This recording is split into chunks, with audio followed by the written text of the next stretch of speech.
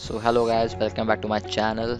In this video I'm gonna show you how to see any Wi-Fi stored passwords from CMD so first you have to search CMD and open the terminal. Then you have to type netsh lan show profiles.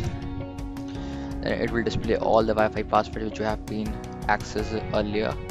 And then uh, then write the same command which you have written then uh, select any which you have to see the passwords. So in this case I'm choosing Redmi.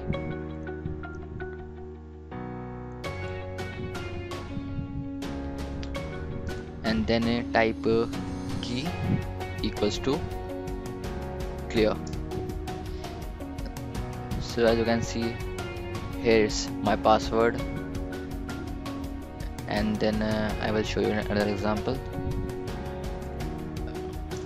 Suppose if you have a space in Wi-Fi's name like Sam's uh, this one Samsung J7 so here we have space so it will create a error.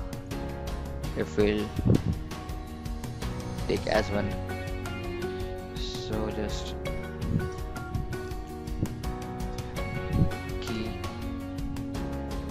to clear. So you can see it will give an error that there is no such wireless interface on the system. Then in this case we have to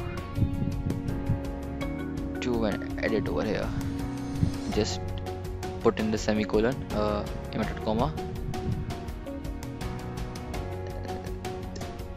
Then it will give you a passwords